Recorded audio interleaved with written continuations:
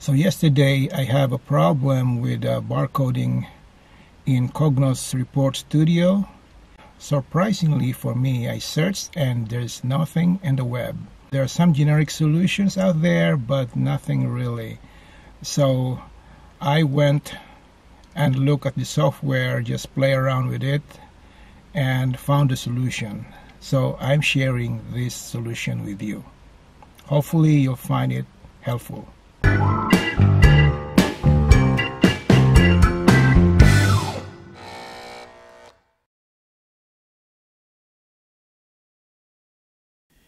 So we are now looking at the front end of IBM Cognos Report Studio. We're going to create a new report. Choose a blank report. Hit OK.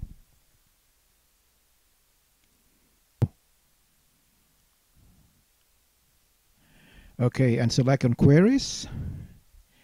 And we're going to drag that SQL query to the right. But before that, we have to select a data source.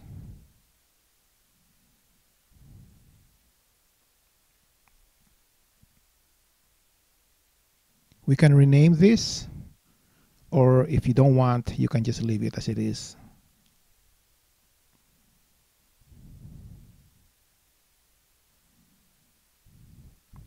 I rename it parts query because I'm going to create a SQL for the parts database or the parts table. Double click and write a simple SQL query from the parts table. And I'm going to use parts code twice on a different manner. So I'm going to type it there twice with the second one with an alias.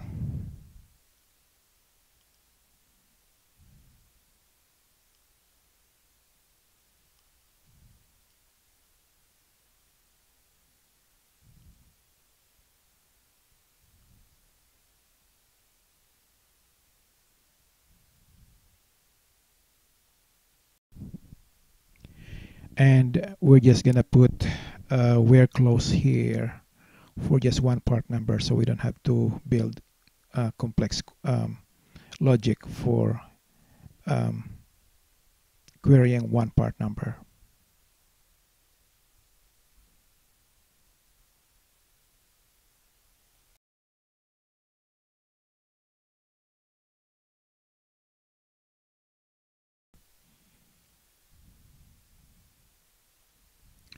So we're gonna look at the query and I'm showing you now the data items that are available for the reports for the report. Look at page one, which is the front of the resulting report. And we're going to put an object there, which in this case is a table. Remember that we're going to create a barcode label. And uh, that barcode label, uh, it's best to have a table, three rows, and um, one column.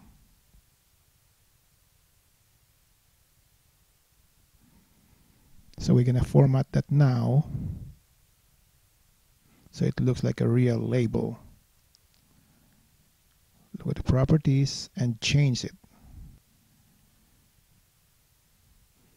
We're going to change it to 4 by 2 inches. We're going to use inches here.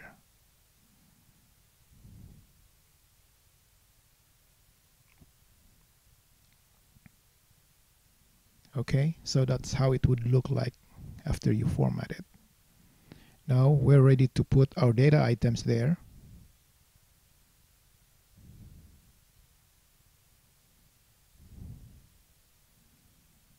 Put the part number the part code.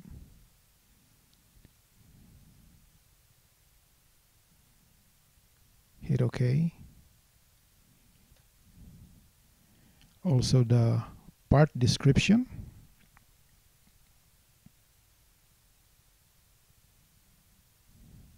Part description here. Hit OK. And last is the another part code. And hit OK. So you have two part codes and one description. The two part codes will be used differently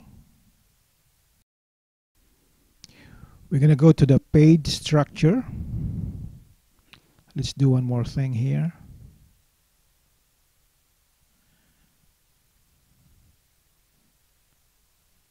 What we're gonna do is we're gonna center that uh, part number or part code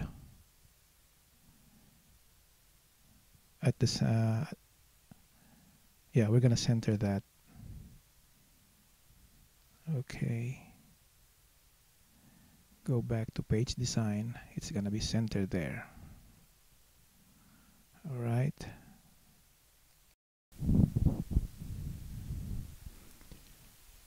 So let's test the report. If you notice, we don't have a barcode yet. Okay, so just want to show you what it looks like in its uh, raw form. So we're going to modify that part code field.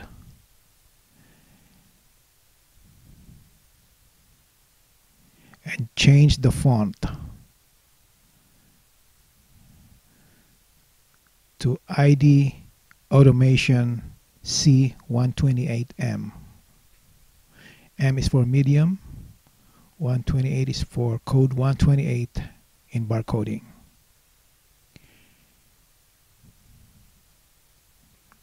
Let's test it again. Print to PDF. It is obviously small, so we're going to adjust that and change the size to a larger font.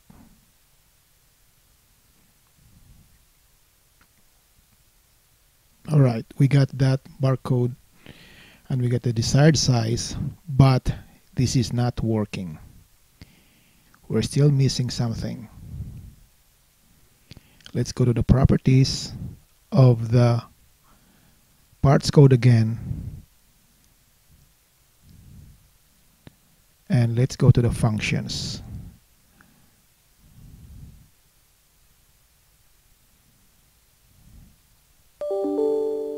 We will have as you notice a report functions. We're going to choose a function there. The function is code 128b str let's insert that. And obviously we're missing one um, parenthesis. And that should validate okay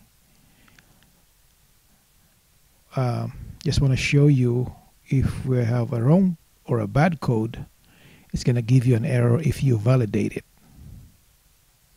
So put back the parenthesis validate OK and hit OK. Try again run the report and that's the good report. That will print or that will create a barcode. To demonstrate to you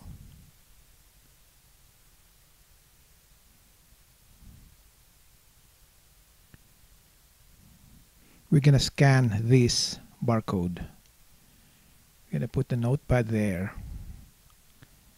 And in my computer I have a barcode scanner. And we're gonna start scanning that.